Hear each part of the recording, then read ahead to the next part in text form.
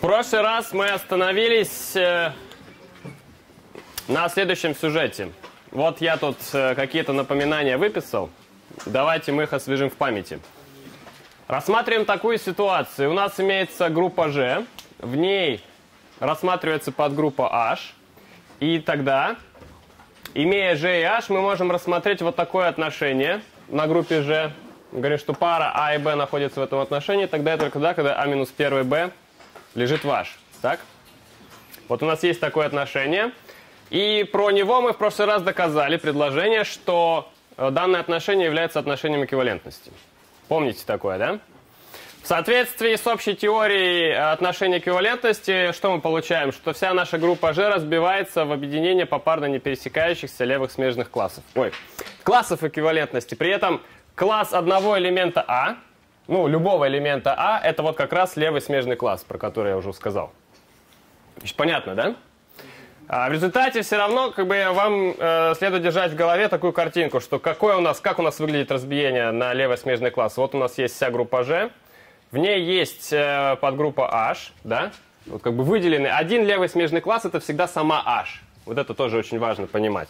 Ну а вся остальная группа G, вот она как-то расслаивается на вот эти вот э, левые смежные классы. Хорошо, давайте мы продолжим. Э, очень простая лемма. Очень простая лемма. Предположим, что подгруппа H конечна. Тогда для всякого элемента А мощность левого смежного класса совпадает с мощностью э, подгруппы H. То есть на самом деле получается, что если подгруппа H конечна, то тогда каждый левый смежный класс, он имеет одну и ту же мощность. Причем не, не просто какую попало, а именно мощность равную мощности самой подгруппы H. То есть количеству элементов в H. Ну, это очень просто. Значит, э, по определению имеем число элементов здесь не превосходит числа элементов здесь. С этим вы согласны? Потому что как у нас определяется левый смежный класс? Мы должны элемент А поумножать на всевозможные элементы из подгруппы H. Согласны, да? Ну, в итоге у нас получится не более, в смысле, допустим, если в H было k элементов, то тогда вот после такой процедуры у нас получится максимум k элементов, потому что мы взяли элемент А и поумножали его на k разных элементов, да? Максимум k получится. Ну вот, и теперь мы должны показать, э, почему на самом деле все, что получится, там действительно ровно k. Там действительно ровно k. Ну, это очень легко. Если а, а умножить на h1 равно а умножить на h2, то как мы покажем, что h1 равно h2? Ну, перенесем в одну сторону. У нас как бы нет такой операции.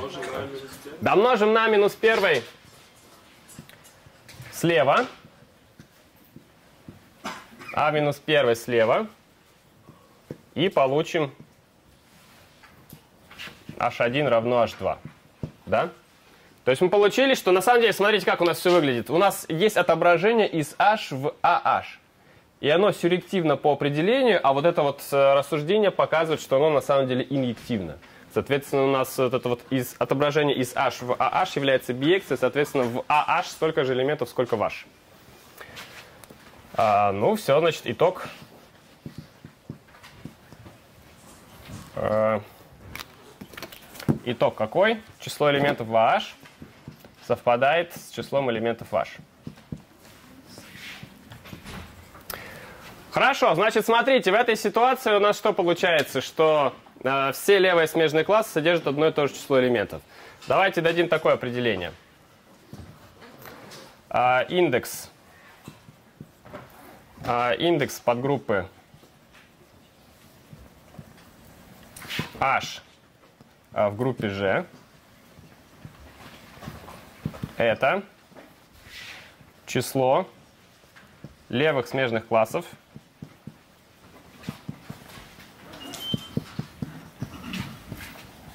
а G по H. Короче говоря, вот у нас есть разбиение группы G на левые смежные классы, да, просто считаем вот количество смежных классов, это будет по определению индекс подгруппы. Хорошо, значит, давайте мы скажем, как это обозначается. Обозначение. Стандартное обозначение. а, вот такое. G двоеточие H еще в скобочках. Как вы думаете, G двоеточие H, оно что напоминает? А? Оно напоминает деление на самом деле, да? И деление тут оно не случайно, не случайно, в связи со следующей теоремой, а, которая называется теорема Лагранжа. Теорема Лагранжа. А, гласит следующее, что предположим, что группа G конечна. Пусть у нас есть конечная группа G, в ней H подгруппа, а, H подгруппа, то тогда число элементов G есть а, число элементов в H умножить на вот этот самый индекс. Вот этот самый индекс. Ну и доказательство. Доказательство... Есть ли тут вообще что-то содержательное после всего того, что мы уже с вами обсудили? На самом деле доказательства, э, в смысле содержательного тут ничего нет, просто пишем, что а, сразу следует, сразу следует из чего? Из предложения и леммы. Сразу следует из предложения и леммы. То есть идея вот в чем, что вот у нас есть группа, вот э, э, в ней мы взяли подгруппу, дальше мы показали, что вся группа G раскладывается, ну как бы разваливается в э, объединение попарно не пересекающихся левых смежных классов, и в каждом левом смежном классе столько же элементов, сколько ваш. Да? Соответственно, у нас э, как бы, ну, есть вот такое соотношение, очевидным образом. Да? Ну и как бы вот это вот обозначение сразу вы видите, что само вот это число, оно на самом деле чему равно? Это число элементов g делить на число элементов ваш. Вот отсюда, собственно, аналогия с делением и, собственно, вот это, вот, э, от этого обозначения, я думаю, оно отсюда происходит. Хорошо, значит, э, вот мы с вами обсудили теорему Лагранжа, вот она такая интересная. И теперь давайте мы обсудим несколько следствий из нее э, на слайдах.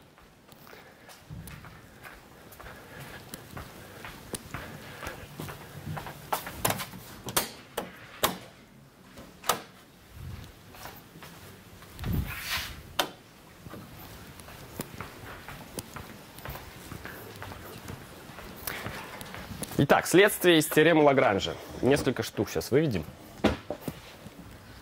Следствие 1. А если у вас есть конечная группа и в ней подгруппа, то тогда число элементов G делится на число элементов H. Ну, я думаю, это просто очевидно из самой теоремы Лагранжа. Согласны? Алло. Да. Хорошо. Следствие 2. Пусть, опять же, у нас есть конечная группа, и мы взяли в ней элемент, тогда утверждается, что порядок группы делится на порядок элемента. Как вы думаете, откуда это следует?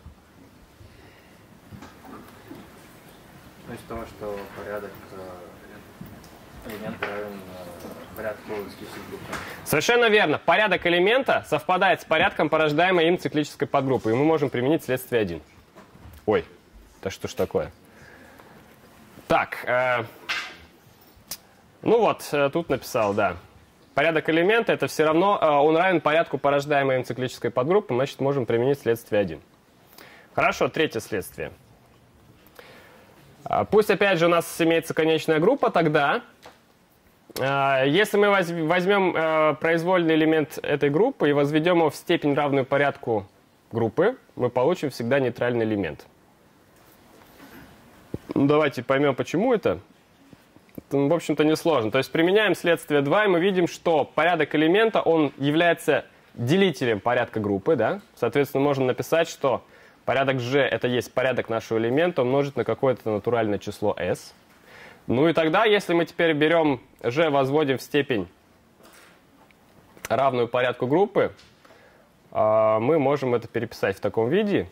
Сначала возводим в степень равную порядку самого элемента, а потом уже в дополнительную степень s. Ну а g в степени э, порядок, э, g в степени собственный порядок, это есть что? Это есть e, соответственно, у нас получается e. Да? Ну вот, э, это было следствие 3. Теперь э, еще очень э, интересный и любопытный факт, следствие 4. Малая теорема Ферма. Поднимите руку. Вы в курсе малой теоремы Ферма, да? Она, наверное, у вас на дискретной математике была? А, была, ну понятно. И там вы ее как-то доказывали сложно. Было дело. Ну вот, оказывается, что, смотрите, нужно э, развить э, совсем немножечко алгебраической теории, и тогда эта малая теорема Ферма будет вытекать э, просто из теоремы Лагранжа. Значит, если у нас есть простое число, и мы берем не нулевой вычет по модулю p, да, p это простое число, то тогда, возведя этот ненулевой вычет степень p минус 1, мы всегда получим единицу по модулю p. Да, вот это малая теорема Ферма.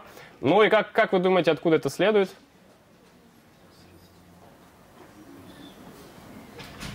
Ну, подсказка из чего-то того, что мы уже с вами обсудили. Это следует из предыдущего, да?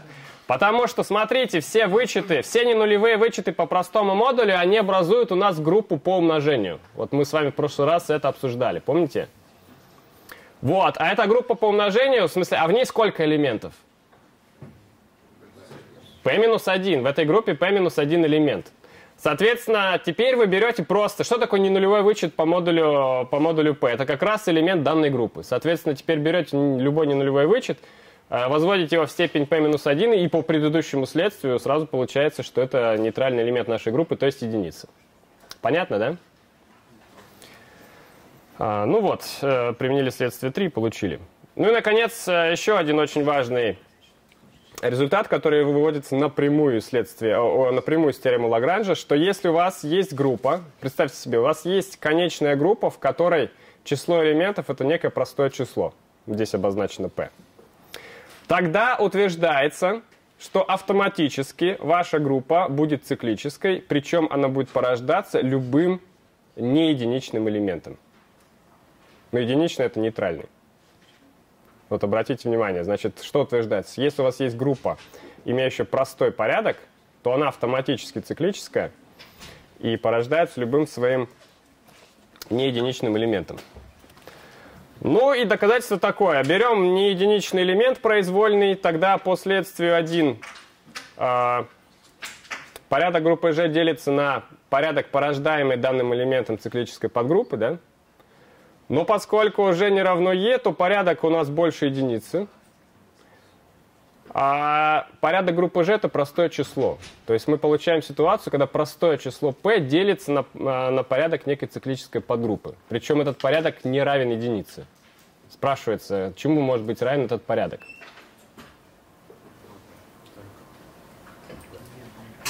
Но он равен только этому простому числу, согласны? Соответственно, вот мы получаем вывод, что циклическая группа, циклическая подгруппа, порождаемая любым неединичным элементом, она обязана иметь порядок P, потому что больше деваться некуда. А раз она имеет порядок P, значит она совпадает со всей группой G. Ну и таким образом получается, что G циклическая порождается этим самым элементом G маленькой. Есть вопросы?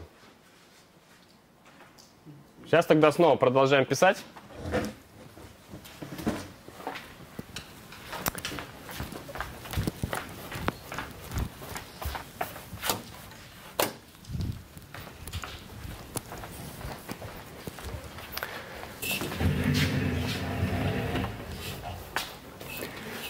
Итак, э, это была теорема Лагранжа и ее следствие. Что будет дальше? Что у нас будет дальше? Итак, смотрите, э, вот э, тут у нас написано, есть отношение LH эквивалентности, да, давайте мы введем еще симметричное отношение, отношение, отношение RH на G.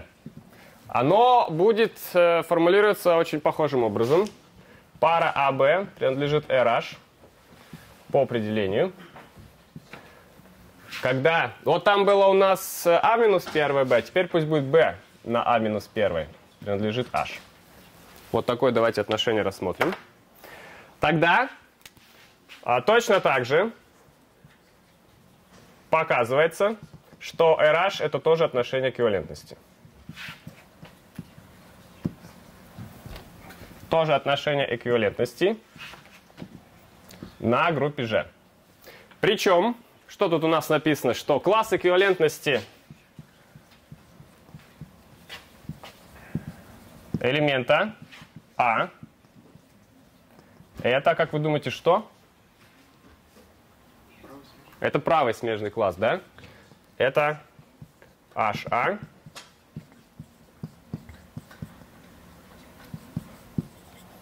То есть мы берем элемент А и умножаем его на всевозможные элементы H, ну в данном случае слева получается, да? Или чтобы оправдать название правый смежный класс, мы говорим все элементы подгруппы H умножаем справа на элемент А. Вот это называется правый смежный класс.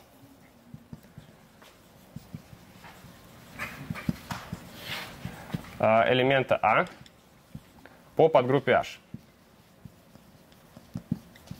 Итак, смотрите, какая ситуация у нас получается. Вот какой бы мы элемент с вами э, не взяли из нашей группы, для него э, можно построить левый смежный класс, и для него можно построить правый смежный класс. Понятно, да?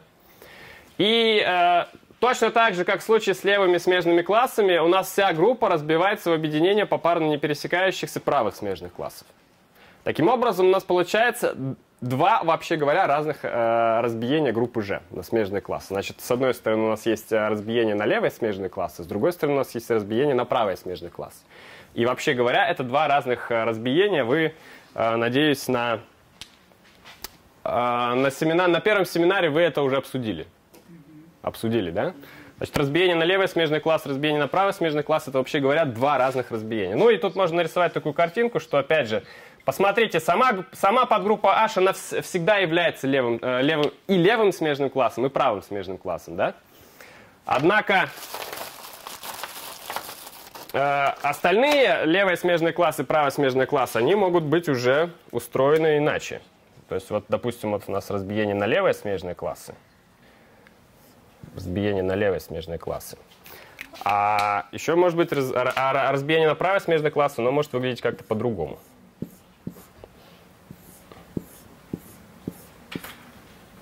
Представляете, да? Вот у нас есть э, два таких разбиения. В соответствии с этим вот мы видим два разбиения. Значит, э, э, довольно исключительный интерес представляет собой ситуация, как вы думаете, какая? Когда вот эти два, то есть вообще говоря, у нас есть два разных разбиения, да, но исключительный интерес представляет ситуация, когда эти разбиения просто совпадают, да. И вот в этой ситуации давайте мы дадим определение. Определение. Подгруппа H называется нормальной. Нормальной. Если, а, если для всякого элемента G из G левый смежный класс элемента G совпадает с правым смежным классом элемента G.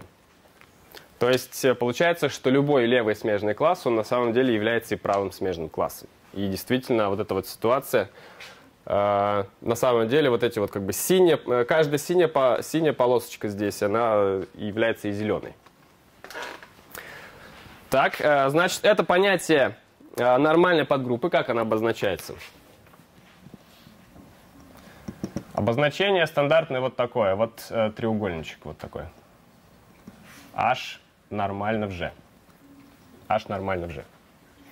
Ну, это просто обозначение. Значит, теперь смотрите, вот э, у нас бывают группы, в группах бывают подгруппы, и подгруппы э, бывают нормальные. То есть бывают нормальные, бывают ненормальные. Примеры давайте посмотрим. Примеры э, нормальных подгрупп. Смотрите. Э, очень важный случай. На самом деле именно с этим случаем нам по, по факту придется работать в данном курсе. Э, в контексте нормальных подгрупп. Если же у нас Абелева, то что можно сказать про э, подгруппы? Какие подгруппы будут нормальными? Нормальные будут все подгруппы, согласны? Если группа э, Абелева, Абелева это что такое? Это коммутативно. Соответственно, GH для любого H маленького, GH равно HG. Соответственно, вот это вот множество, они точно совпадают всегда. Соответственно, для Абелевых групп Э, любая подгруппа, подгруппа H нормально. Дальше давайте мы э, приведем пример подгруппы, которая не является нормальной. Ну вот, э, я надеюсь, что вы разбирали такой пример на первом семинаре. Вот такой, что давайте в качестве G возьмем группу перестановок на трех элементах. В качестве H возьмем подгруппу, состоящую из тождественной перестановки и цикла 1, 2. Да? Тогда h не, не является нормальной.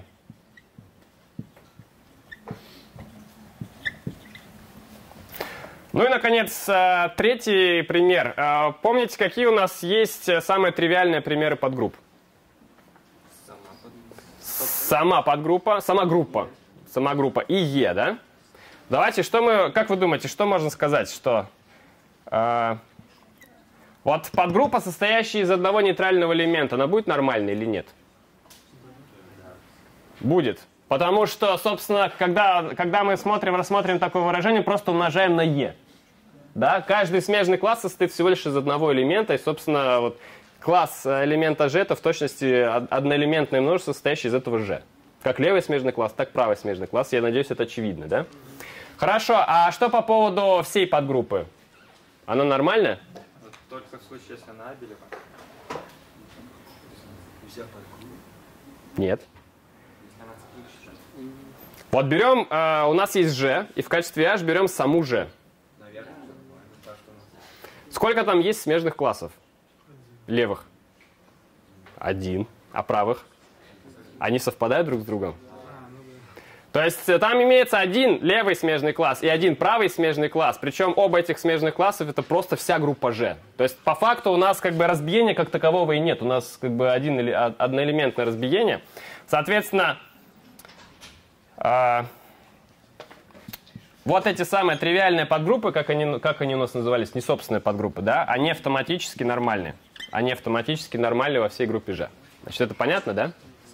Все, значит, эти примеры мы посмотрели. Теперь давайте мы посмотрим некоторое предложение, которое дает нам э, несколько эквивалентных условий на э, нормальную подгруппу. Следующее условие – эквивалентный.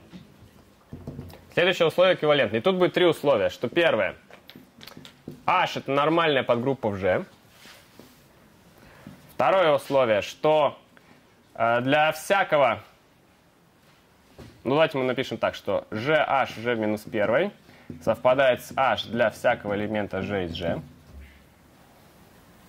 И третий элемент, э, третье свойство, что GH g в минус 1 содержится ваш для а, любого элемента g из g. Значит, понятно, о чем тут говорится? Что такое g, h, g в минус 1? Тоже понятно? Это просто мы берем всевозможные элементы такого вида, где вместо вот этого h ну, подставляются все элементы h маленькое. Ясно, да? Хорошо. Значит, э, теперь, ну тут, конечно, любопытный момент, да, с одной стороны, вот у нас есть такое условие, с другой стороны, у нас есть такое, да, они чем-то похожи, а какой из них тривиально следует из другого? Третье тривиально следует из второго, да, и может возникнуть вопрос, а зачем вообще мы тут два условия эти записываем. Я объясню. Доказательства. Дока, вот смотрите, у нас есть три эквивалентных, три условия, про которые мы заявляем, что они эквивалентны, мы будем доказывать по, по циклу. Из первого увидим второе сначала. С первого увидим второе. Значит, смотрите, для любого g мы что имеем? GH равно HG, это по определению нормальной подгруппы, правильно? Как нам теперь отсюда получить вот это условие? Домножим на g минус 1 справа. Домножаем на g минус 1 справа. Получаем. А что мы получаем? gh, g минус 1 gh, g минус 1 равно h. Да? Ну, я надеюсь, это видно невооруженным взглядом. Теперь, э, из второго вводим третье. Ну, тут, э, тут сам Бог велел написать слово «тривиально».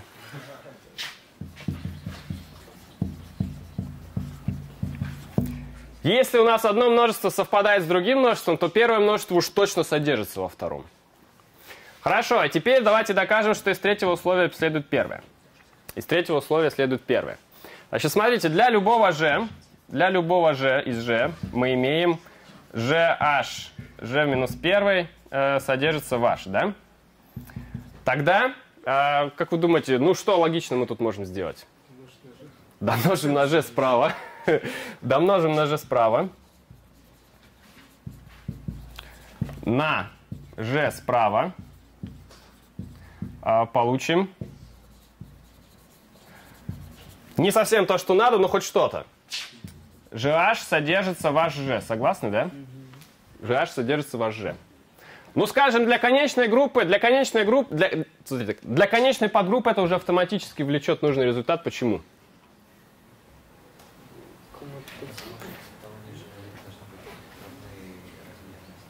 Ну, не размерности, а размеры. Размеры. Помните, вот тут у нас мы обсуждали, что всякий левый смежный класс, он содержит столько же элементов, сколько ваш.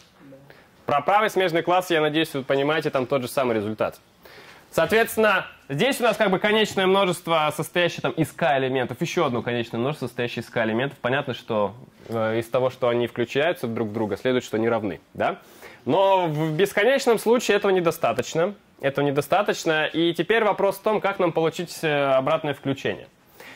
И для этого применяется такой трюк. Посмотрите, а, данное условие верно для любого же, Значит, оно будет верно, если мы вместо g подставим любой элемент нашей подгруппы. А давайте вместо g подставим минус 1. А, подставим вместо g g минус 1 получим а, g минус 1 hg содержится в h, да? Ну и тогда точно так же, домножив на g минус 1, э, нет, на g домножив слева, на g минус 1 слева, получаем, получим как, что? Как раз то, что hg содержится в gh. Ну вот, собственно, и все. Вот мы с вами это выяснили, да? Только на G слева. Там и ниже минус первый. Да, спасибо. Э, Не на G минус первый, а именно на G, да. Да, вот так. Все, мы все доказали, согласны? Так, теперь давайте я объясню, собственно, зачем, э, зачем нужно это свойство. Значит, э, зачем вот так вот странным образом писать два похожих утверждения вот здесь, да? На самом деле, каждое из этих свойств, оно используется в разных контекстах. Вот это свойство, оно используется где? Предположим, что вы уже имеете с группой G с нормальной подгруппой H. Тогда это очень сильное свойство. Тогда вы точно знаете, что для любого вот этого выполнен вот это. Для любого элемента G маленького выполнено вот это свойство. Понятно, да? И дальше вы можете там применять это где-то в своих собственных рассуждениях. А теперь, где используется вот это свойство? Вот это свойство, оно используется в тех ситуациях, когда у вас дана группа G, дана в ней подгруппа H, и вы хотите проверить, что H нормально в G. И тогда вы говорите, как мы будем проверять, что подгруппа H нормально в G? Давайте возьмем произвольный элемент э, и G маленькое из G большого. Рассмотрим вот такое выражение и покажем, что оно всегда содержится в H. Понятная идея? Если вы покажете, что это содержится всегда в H для любого G, значит вы автоматически делаете вывод, что подгруппа H нормальна. Понятная идея? Просто, просто если бы мы выкинули вот это вот условие, то тогда как бы вам пришлось делать? Если, бы вы, если у вас перед вами стояла задача доказать, что данная подгруппа нормальна, тогда вам пришлось бы проверять не, не просто включение, а что вот в точное равенство. Зачем нам проверять точное равенство, если нам достаточно проверить включение? То есть проще, процедура проще. Ясно, да? В общем, эти два свойства, они просто, они как бы эквивалентны друг другу, но они вот используются именно в разных контекстах при работе с этой всей наукой.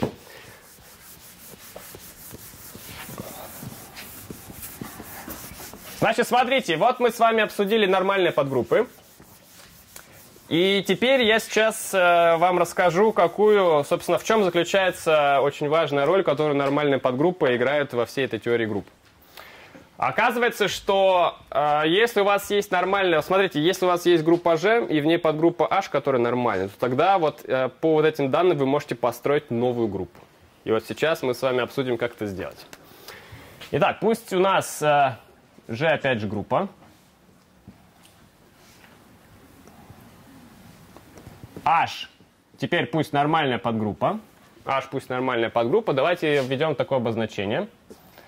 G слэш H это множество всех, ну давайте я напишу левых смежных классов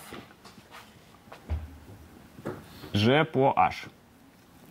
Ну, левых в данном случае вы тоже понимаете, что это то же самое правых. То же самое, что правых. Смотрите, если у нас есть нормальная подгруппа в какой-то большой группе G, то тогда, как мы знаем, всякий левый смежный класс, он совпадает с э, правым смежным классом, да? И в этой связи у нас нет нужды различать между левыми смежными классами и правыми смежными классами. Потому что, то, потому что это одно и то же. Вот этот момент понятен? Значит, левые смежные классы это то же самое, что правые смежные классы. Поэтому в данной ситуации, когда работать с нормальными подгруппами, как бы вот эти слова левых-правых их просто забывают и работают как бы просто со смежными классами. У нас есть подгруппа, по ней есть смежные классы. Ну, как бы мы понимаем, что они с одной стороны левый смежный класс, с другой стороны они же это будут правые смежные классы. Поэтому а, употреблять слова левый и правый здесь нет нужды. Хорошо. И теперь смотрите, вот утверждается, что вот смотрите, вот эта вот картинка, да? Допустим, э, вот эти вот синие. Ну ладно, давайте я другую картинку потом нарисую. У нас есть множество всех левых смежных классов. Давайте я воспроизведу картинку здесь. Вот, э, допустим, наша G, вот наша H, и вот у нас есть разбиение на а, левые смежные, ну, просто на смежные классы в данном случае. А, определим на G по H бинарную операцию –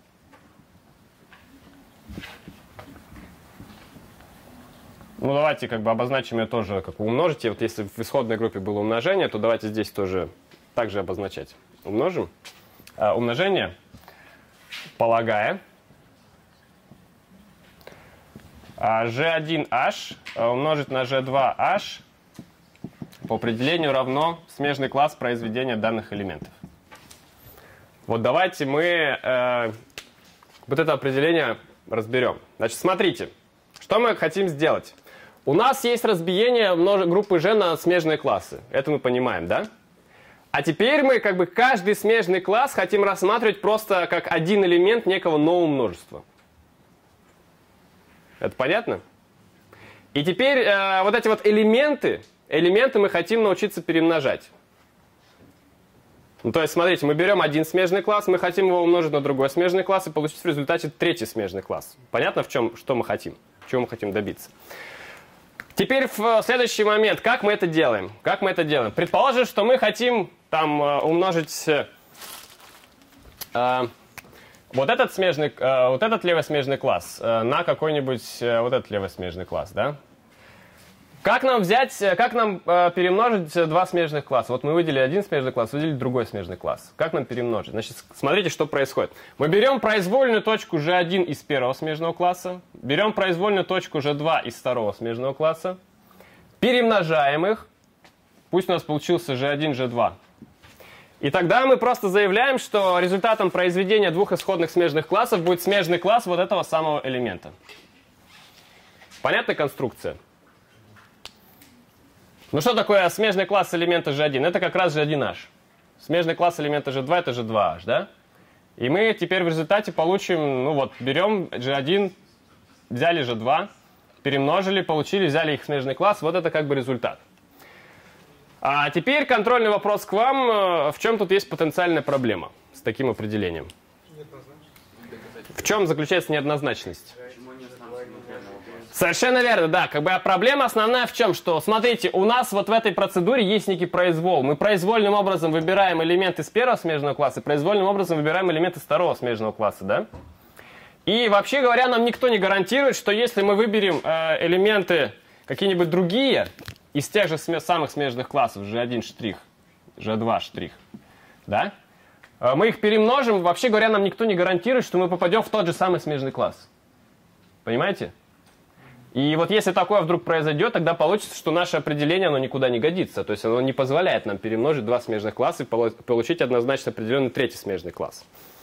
Ну и вот, и утверждается, что если наша подгруппа H нормальна, то вот такой проблемы никогда не будет. Собственно, э, вот это как раз доказывается такой процедурой, которая называется проверка корректности.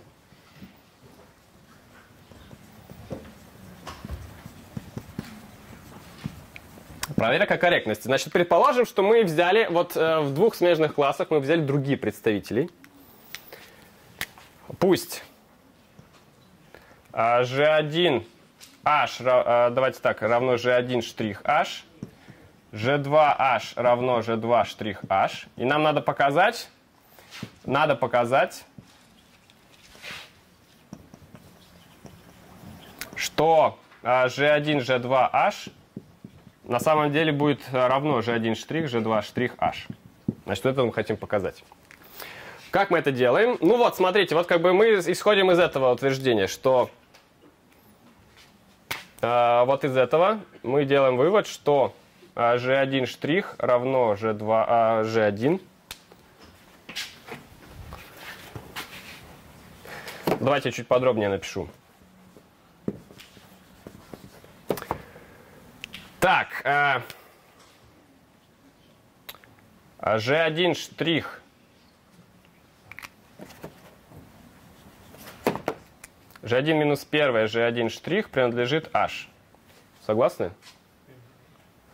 Тогда, поскольку два смежных класса совпадают, значит, по, просто по, по определению нашего отношения. Тогда, а, тогда получается, что g1 штрих принадлежит э, g1h, следовательно, g1 штрих равно g1 умножить на какой-то h1, где h1 лежит в h. Согласны? h1 лежит в h. Точно так же Точно так же g2 минус 1 g2 тоже у нас принадлежит h. Отсюда как бы делаем вывод, что g2 штрих это есть g2 умножить на h2, где h2 тоже лежит в h. Ясно? Соответственно, что мы теперь хотим показать? Ну, мы теперь просто сейчас формально распишем вот эту вот вещь, распишем подробно, что это за смежный класс, и увидим, что это будет тот же самый смежный класс, что и смежный класс элемента g1, g2.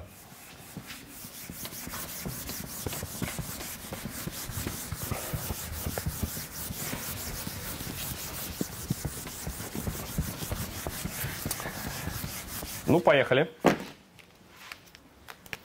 Значит, что мы имеем тогда? G1, G2, H. Это есть... Так, э, где у нас тут все написано? А, G1 штрих. Штрих. Значит, G1 штрих подставляем, просто G1 H1, G2 штрих тоже подставляем. Вот у нас такая ситуация получается, согласны, да? И здесь Э, вот здесь э, выполняется хитрый трюк. Давайте мы вот это вот выражение, которое тут стоит, давайте мы его преобразуем следующим образом. G1, G2, вот вместо G1 и H1 ставим такую комбинацию G2, G2 минус 1.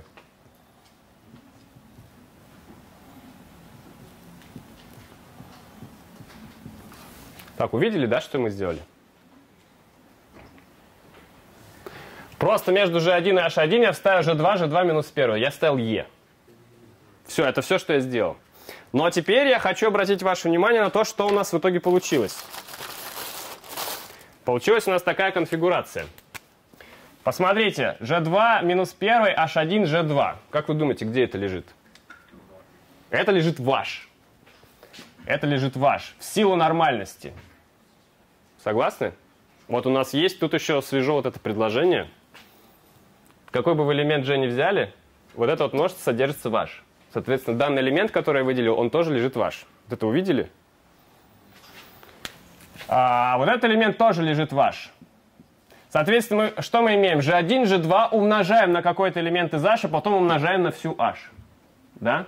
Но на самом деле отсюда сразу видно, что как бы вот этот вот элемент H, который перед, э, вот этот элемент из H, который предстоит, э, стоит перед H большим, он просто съедается, он как бы проглатывается этой группой H, и у нас получается то же самое множество.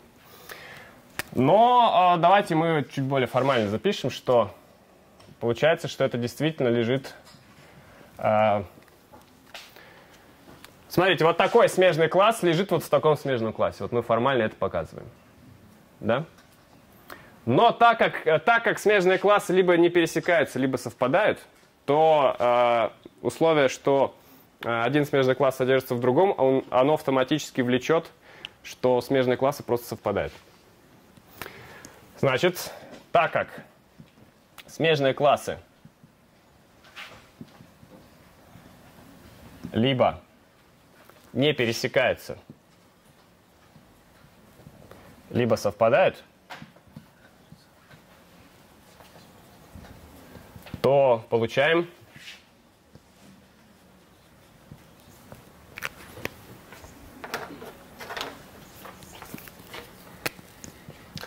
G1 штрих, G2 штрих, H равно G1, G2, H.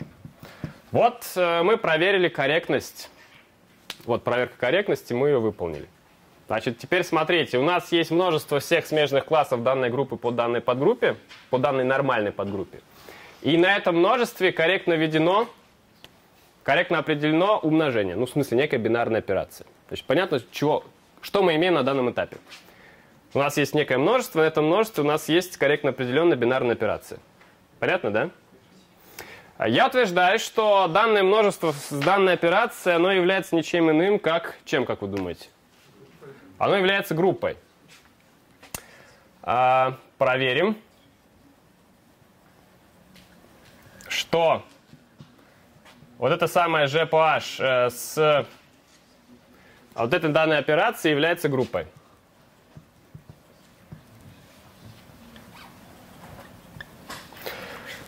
Так, ну и я, давайте кратко мы, значит, скажем, что надо проверять. Первая ассоциативность. Первая ассоциативность. Ну вот, если мы посмотрим внимательно на вот это вот определение, мы видим, что как бы здесь умножаем G1, G2, и получается G1, G, смежный класс G1, G2. И там долгая, в смысле некая такая большая выкладка показывает, что ассоциативность у нас выполняется. Да? Я не буду приводить эту выкладку, она есть вот в этом файле, который я вам высылал. Значит, давайте я скажу, что просто она тут есть.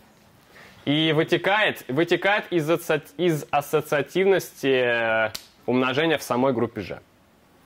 Мы знаем, что вот у нас группа G, в ней есть ассоциативность, и тогда из той ассоциативности вытекает ассоциативность вот здесь. Ну, давайте скажем упражнение, как бы, если, если уж совсем. Второе. Кто будет нейтральным элементом? Кто? EH, да, ну то есть EH это просто H. Вот помните, как бы вот у нас есть э, вся группа G, да, в ней есть выделенный как бы смежный класс по отношению к группе H, это сама подгруппа H, вот это выделенный элемент. И понятно, что логично предположить, что этот выделенный элемент, он и будет играть роль нейтрального элемента. Ну так и получается. И, наконец, кто такой э, обратный к э, GH элемент? Это кто? G минус первый H, да? G минус 1 H. G минус 1 H. Ну вот, э, вот. Получается как бы итог. Итог. Э, вот это самое множество смежных классов с операцией умножения является группой. Вот это, собственно, то, что, э, что мы доказали сейчас. Не то, что доказали, а просто соответствии с конструкцией у нас получается такой результат. И вот э, эта группа, она имеет собственное название, она называется фактор группа.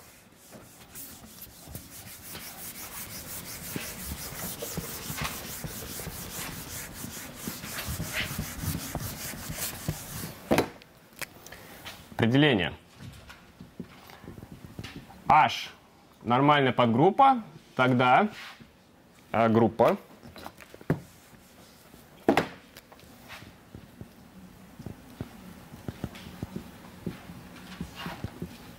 называется фактор группой.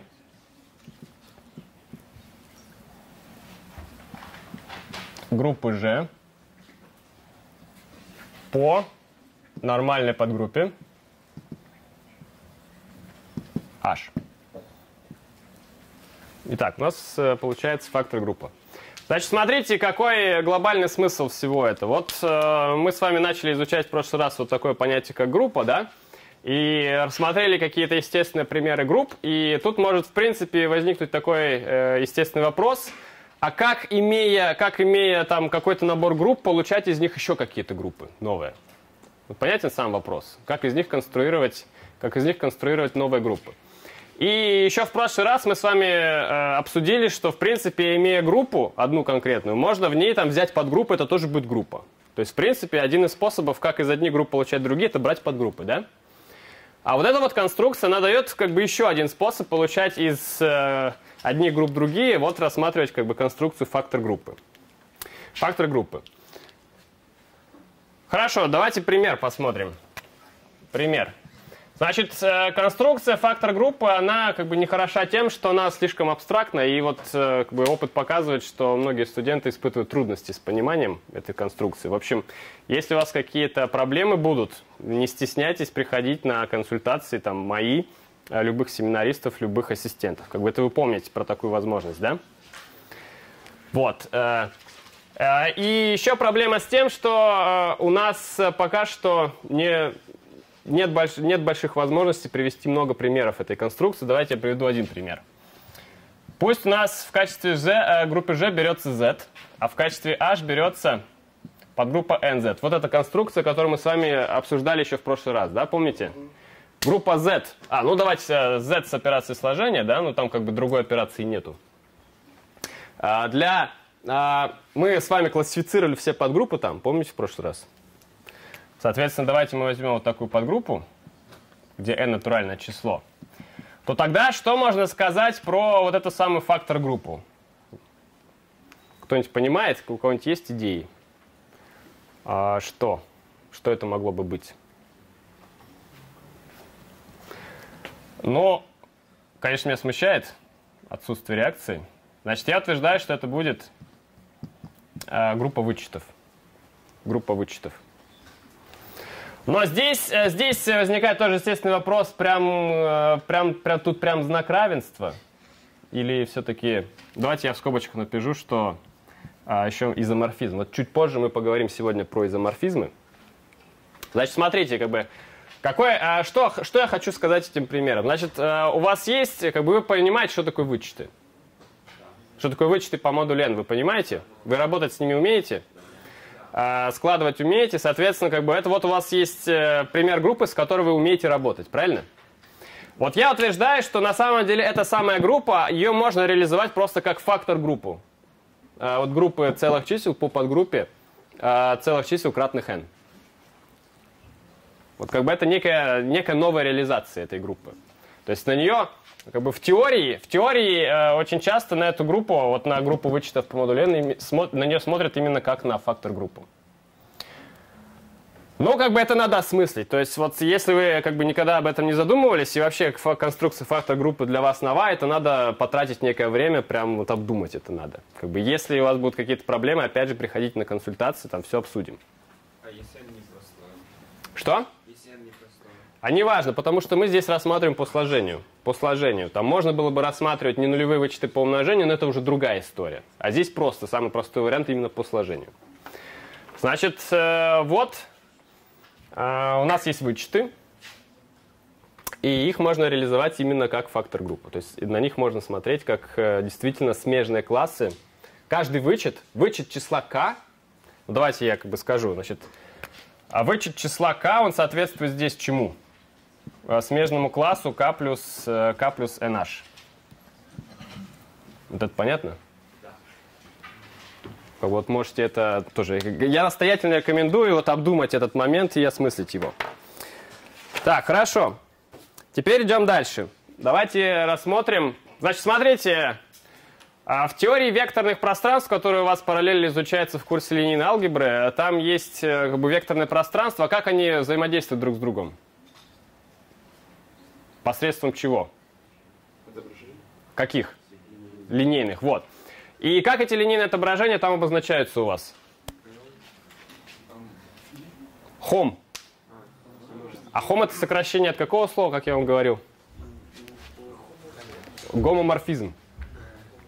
Соответственно, сейчас мы обсудим вот аналог той самой ситуации. Значит, мы сейчас введем понятие гомоморфизма. Вот гомоморфизм это как бы отображение, между посредством которых вот разные группы взаимодействуют друг с другом. Итак, пусть у нас G и F э, это две группы. Э, определение. Отображение φ из G в F называется гомоморфизмом.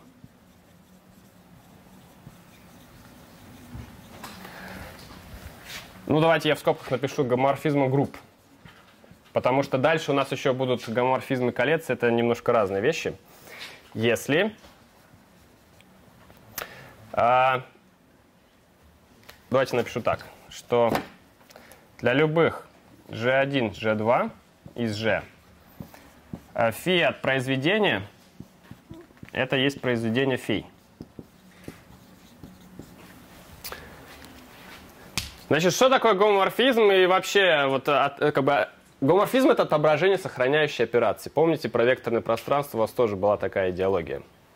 Значит, линейное отображение, оно там сохраняло все операции. Здесь тоже гомоморфизм, вот в алгебре вообще.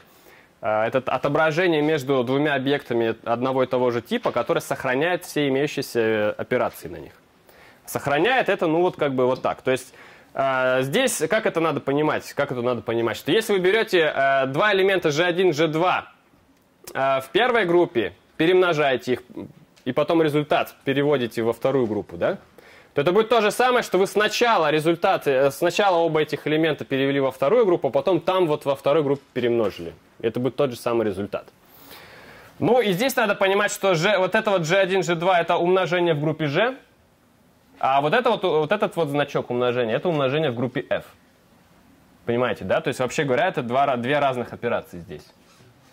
Но понятно, что ради простоты изложения как бы, их стараются обозначать везде одинаково, подразумевая, что как бы, точный смысл всегда понятен из контекста.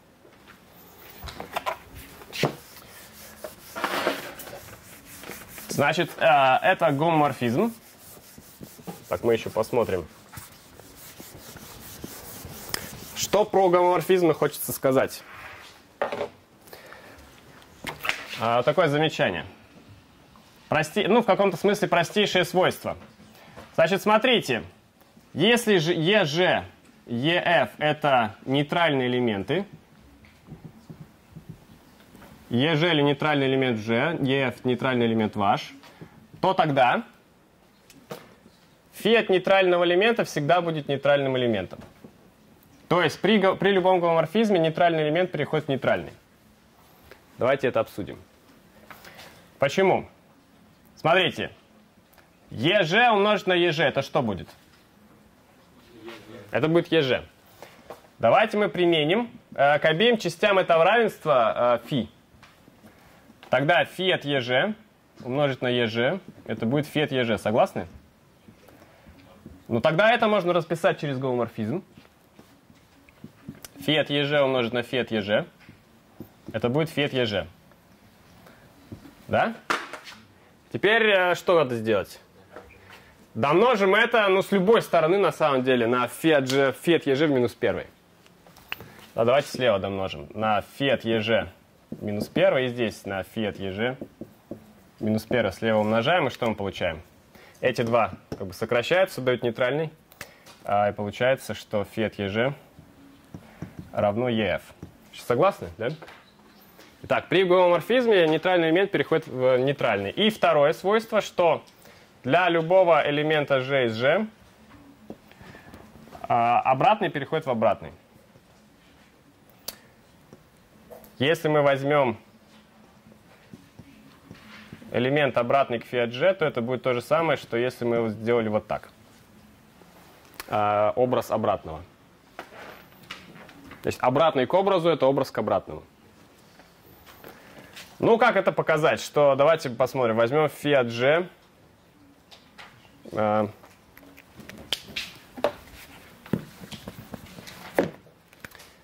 фи от g минус 1 умножаем на фи от g.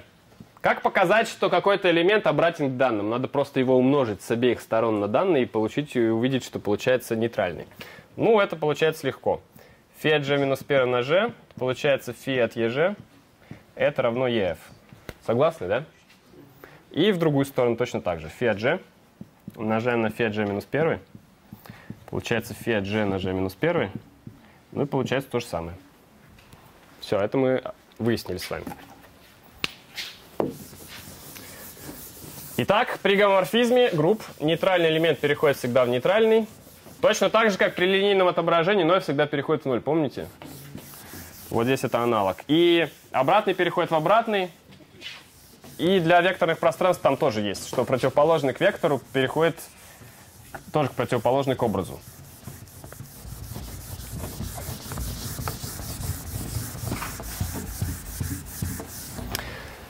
Так, э, идем дальше. Что нам еще надо сказать на, про, изом, про изоморфизмы? надо сказать, определение. Гомоморфизм фи GF называется изоморфизмом. Ну, вы, наверное, догадываетесь, в каком случае. Если он является биекцией. Если фи биекция. А, так, определение. Две группы а, G и F называются изоморфными. Как вы думаете, в каком случае? Да, если между ними есть изоморфизм, да? Если существует изоморфизм фи из GVF. А, ну, как бы, какие тут обозначения? Обозначения тут э, такие. Э, вот используют такой вариант.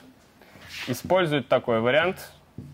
Я буду использовать именно такой вариант, да. Я, мне кажется, уже говорил. Проще писать меньше, да. И сам изоморфизм, если между ними существует изоморфизм, как бы сам э, гомоморфизм, являющийся изоморфизмом, вот э, обозначает вот таким вот стрелочка с волной. То есть подразумевается, что вот у нас гомоморфизм, но он еще, как бы эта волна означает, что он не просто гомоморфизм, он еще изоморфизм. Значит, упражнение. Упражнение, что если у нас есть гомоморфизм, фи из жевов э, это гомоморфизм. Так, не гомоморфизм, а изоморфизм. изоморфизм, то тогда что? А, обратное отображение. Фи минус 1, которое из f действует в g, оно будет то, чем? Тоже изоморфизмом, да? Тоже изоморфизм. Тоже изоморфизм. И вот тут как раз, э, как бы, это все к чему? Это все к тому, что а, на множестве всех групп можно вести по отношению изоморфности, да? Ну и вот тоже еще одно упражнение, чтобы показать, что как бы отношение изоморфности, э, изоморфности на множестве всех групп, всех групп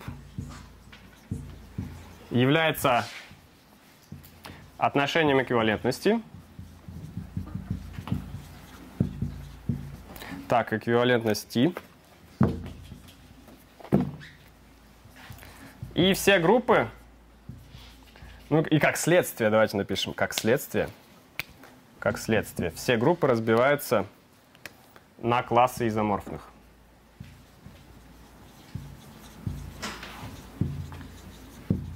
На классы изоморфных. Ну или классы изоморфизма. Ну и тут э, стандартная идея, которую вы уже слышали там для случая векторных пространств над данным полем, да? Можно рассматривать.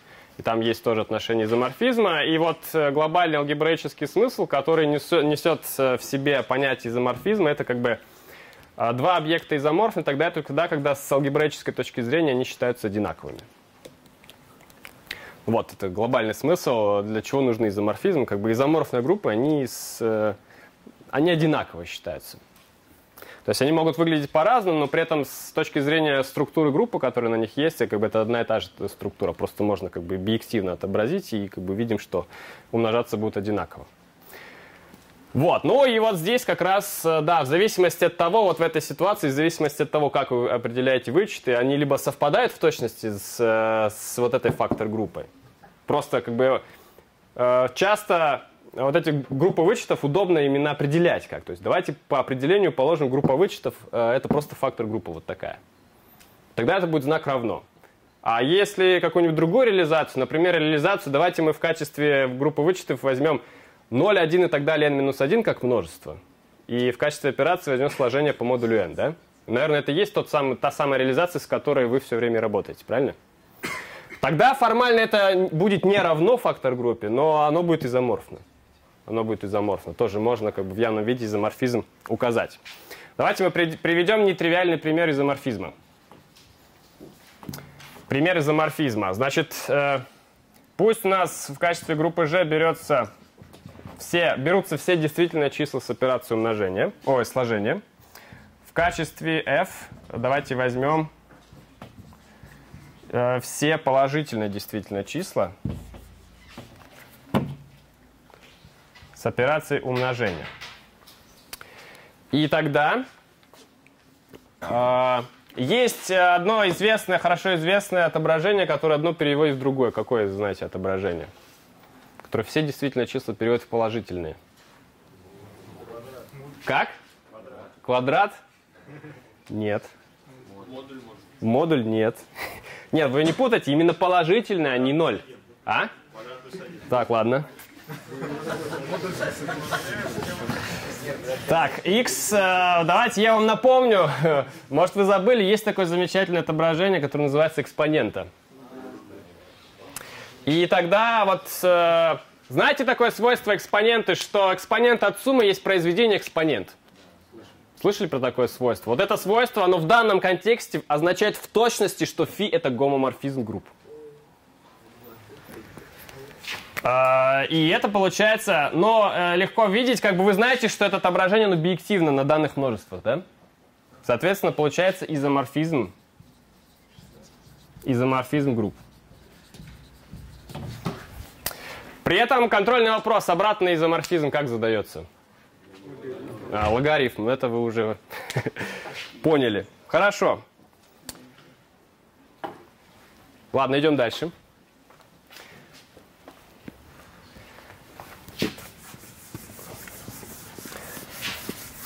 Значит, э, помните, с линейными отображениями там какие стандартные объекты были связаны?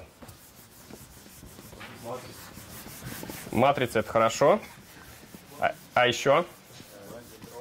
Во, ядро-образ. Помните, да? Ядро-образ это такая тоже весьма стандартная вещь в алгебре. И вот она в данном контексте тоже присутствует. Пусть у нас есть а, фи GF это гомоморфизм групп.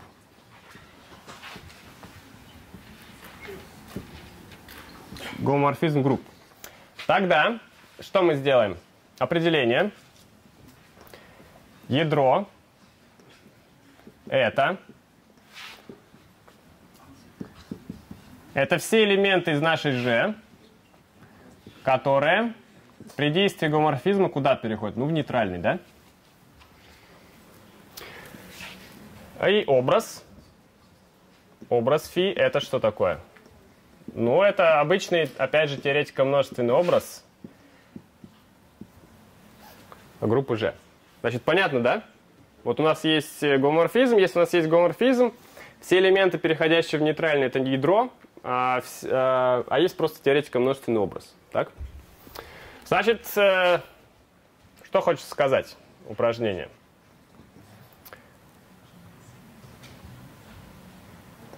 Ядро – это подгруппа в G. Второе, то, что образ, образ – это подгруппа в H, но это проверяется в лоб. Какой аналог э, из линейной алгебры вы помните вот у этого утверждения? Что ядро линейного отображения это подпространство в первом векторном пространстве, да, а образ линейного отображения это подпространство в втором векторном пространстве. Помните такое утверждение? Да. Ну и здесь это полный аналог. Это полный аналог. А, да, спасибо. Это F. Да-да-да. Так, F. Здесь F. Значит, дальше, что еще надо сказать? А, тоже очень простой факт, но который полезно иметь в виду. Значит, э, первое, что фи э, инъективно, как вы думаете, в каком случае? Но опять же, аналогии с векторными пространствами тут вполне уместны. Когда ядро тривиально, только же ЕЖ, да? А ядро совпадает с нейтральным элементом группы G. И, наконец, фи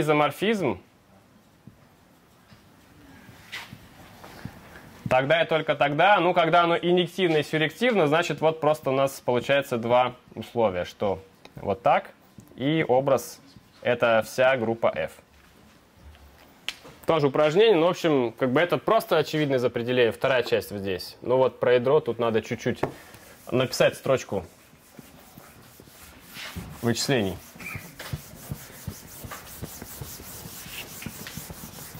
Хорошо, значит, смотрите, вот у нас э, мы с вами поняли, что ядро э, и образ это подгруппы в соответствующих группах, да, но сегодня мы с вами рассматривали, что среди подгрупп э, у нас есть некий привилегированный класс, да. Среди подгрупп еще можно выделить нормальные подгруппы. Тогда естественный вопрос заключается в том, что вот какая-нибудь из этих подгрупп может быть она автоматически нормальна. И вот как раз ответ такой, что да, ядро, ядро любого гоморфизма, оно автоматически является нормальной подгруппой. Лемма ядро. Э, это нормальная подгруппа.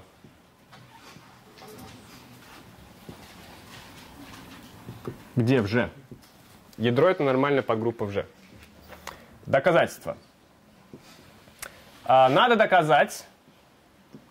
Помните, у нас там было, вот сегодня мы с вами вот на этой доске а, выписывали утверждение, да?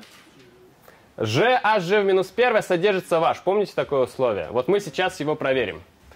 Надо доказать, э, что G, ядро φ G минус 1 содержится в ядре φ для любого G э, из G. Итак, пусть... Хорошо, значит, берем тогда... А, берем H из ядра φ. Значит, тогда что мы имеем? Φ от G, H, G минус 1. Это что такое?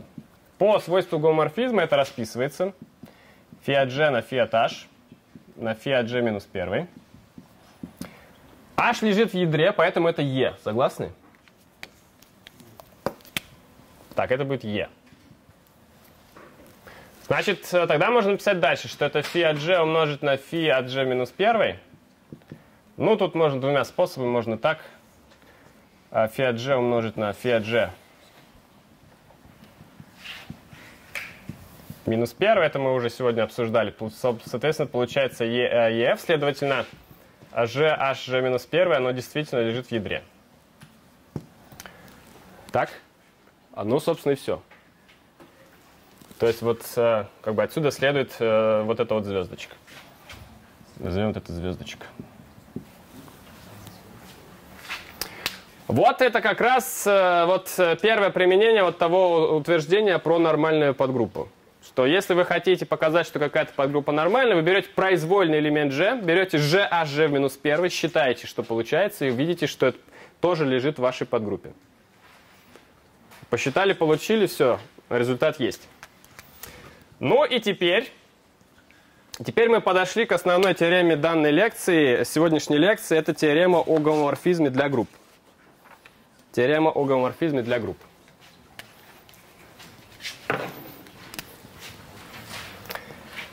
Теорема о гомоморфизме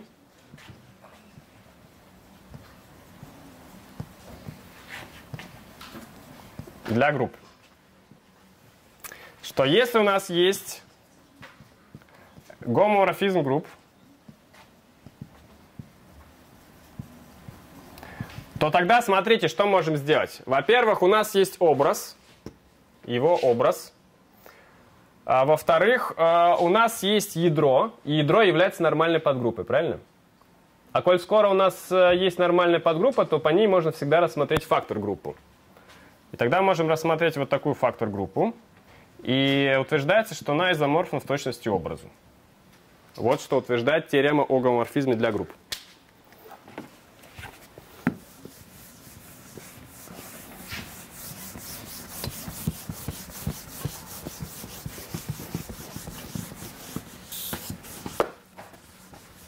Ну вот, давайте мы...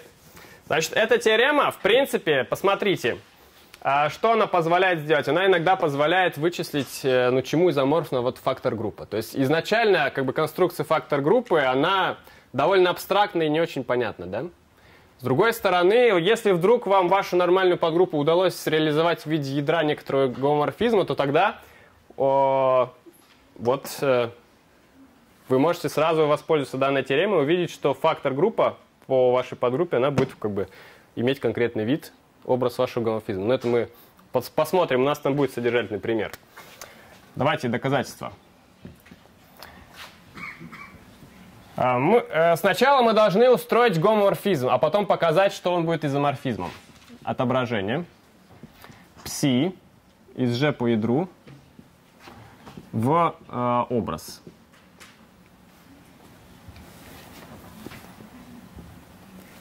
А именно, э, берем смежный класс. Смежный класс э, элемента G маленькое отправляем куда? Отправляем в G. Вот рассмотрим такое отображение, которое каждому смежному классу поставляется вот такой элемент из образа. Здесь мы должны, опять же, сначала проверить корректность. В чем заключается проблема? Что, опять же, э, здесь мы взяли какой-то один элемент из смежного класса и отправили, да? А, а вдруг, если мы возьмем другой элемент из того же самого смежного класса, вдруг он перейдет в другой элемент, тогда мы не сможем так отображение определить. Соответственно, мы должны сказать следующее, что пусть а, G ядро φ совпадает с G' ядро φ, тогда, как мы уже сегодня делали вот такую процедуру, тогда G' а, обязан а, иметь вид G умножить на H, где H это какой-то элемент из ядра, из нашей подгруппы. Да? Тогда а, пси от G ядро, G штрих ядро, это будет что? Это будет фи от G штрих. Но фи от G штрих, G штрих это G умножить на H. Значит, это фи от G умножить на фи от H. А H лежит в ядре, значит, это E. Это E. Соответственно, получается фи от G. И это равно пси от G Керфи. Значит, смотрите, взяли другого представителя того же самого смежного класса и получили, что образы совпали. Значит, ура, наше отображение определено корректно. Вторая часть. Значит, хорошо, у нас есть отображение вот из, из этой группы в эту. Э, дальше мы хотим показать, что это гомоморфизм. Фи это гомоморфизм. И это проверяется просто в лоб э, прямой рутинной проверкой. Значит, у нас есть определение гомоморфизма, у нас есть определение данного отображения. Вот давайте мы их скомбинируем и получим. Значит, э, пси от G1, вот пси от произведения двух смежных классов. Мы должны посчитать, чему это равно. Значит, произведение двух смежных классов, фактор группы, это смежный класс произведения. Пси от G1, G2, смежный класс. По определению это равно фи от G1, G2. А фи это гомоморфизм, значит это будет фи от g1 умножить на фи от g2. И, наконец, что мы имеем? А это как раз и есть произведение двух смежных классов. А, секундочку. Пси забыл.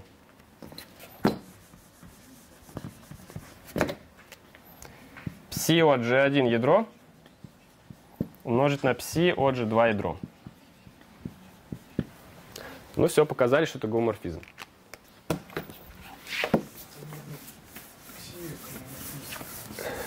Да, спасибо, да. Вы абсолютно правы. Здесь должно быть пси. Пси. Да, это очень важно тут.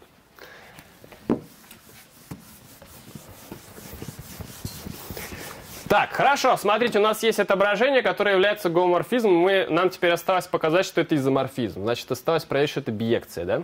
Ну, биекция это что? А, сюрективно плюс инъективно. Третье, сюрективность. Что можно сказать? Ну, на самом деле, вот эта формула показывает, что э, любой элемент из образа мы так получим просто из, э, из конструкции. То есть, если вы хотите получить элемент фиат G, ну тогда берите вот смежный класс элемента G, и он как раз перейдет в него. А, а, из конструкции. Ну или, или определение. Или определение самого отображения пси. Значит, только сюрективность мы получаем бесплатно здесь. Ну и оставшееся свойство – инъективность. Инъективность. Ну, давайте проверим, что... Предположим, что psi от G1 ядро это есть psi от G2 ядро. Тогда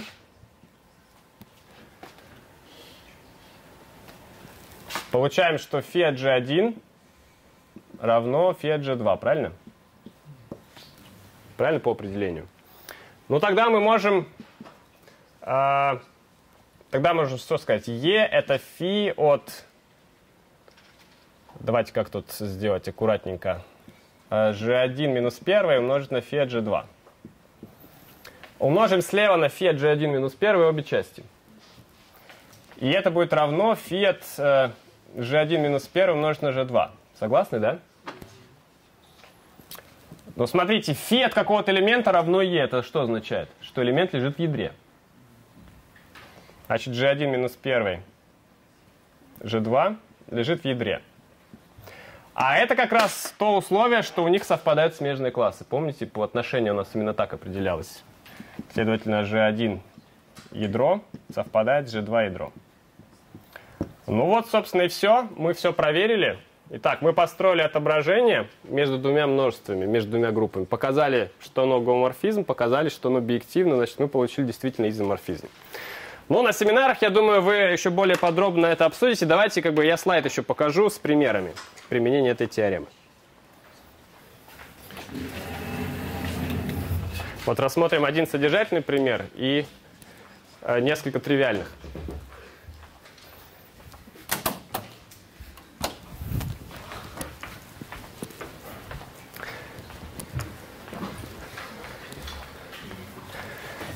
Так, примеры. Вот смотрите, вот пример. Рассмотрим действительно числа с операцией сложения и в качестве подгруппы возьмем целое число с операцией сложения. Зададимся себе вопросом, а что будет фактор группы здесь? И вот тут э, давайте мы, как бы мы должны устроить гомоморфизм из группы G таким образом, чтобы э, ядром были как раз целые числа. И вот, э, вот гомо, такой гомоморфизм надо придумать. Берем в качестве f э, группу c без нуля с операцией умножения и рассматриваем отображение что-то типа экспоненты. Понятно, да? e в степени 2π и a. И значит, косинус, это получается косинус 2πa плюс и синус 2πa. Мы куда попадаем на комплексной плоскости? Косинус 2πa плюс и синус 2πa. Это что за элементы? Они где лежат? Они лежат все на единичной окружности. Соответственно, легко проверяется, что такое отображение будет гомоморфизмом. Также легко проверяется, что косинус 2πa плюс и синус 2πa равно единице когда? Когда а целое число. То есть аргумент кратен 2π, соответственно, а должно быть целым числом. Э, гомоморфизм будет в точности наша подгруппа h, а образ это, как мы уже выяснили, это единичная окружность. Соответственно, в результате мы получаем, что фактор группы это есть э, единичная окружность. И вот таким вот интересным образом фактор группы в данном случае удается вычислить. Но вычислить именно с точностью до изоморфизма. Ну и можно рассмотреть еще, что происходит вот с э, такими еще тривиальными э, гомоморфизмами. Смотрите, рассмотрим тождественное отображение. Это будет автоматический гомоморфизм. У него ядро – это нейтральный элемент, образ – это сама G. Соответственно, мы получаем вот такое соотношение, что фактор группа G по а, единичному элементу это сама G. Ну, просто такой как бы один тривиальный изоморфизм. И э, давайте рассмотрим э, гомоморфизм из группы G э, в группу из одного элемента. Ну, все переходит вот в этот самый нейтральный элемент. Получается тоже гомоморфизм. У него ядро будет вся G, потому что вся G переходит в нейтральный. Образ будет нейтральный элемент, и тогда мы получаем значит, фактор группа G по себе же, как, как нормальной подгруппе. Это будет как бы группа из одного элемента, но это тоже в каком смысле тривиальная вещь. Все. Давайте на сегодня все.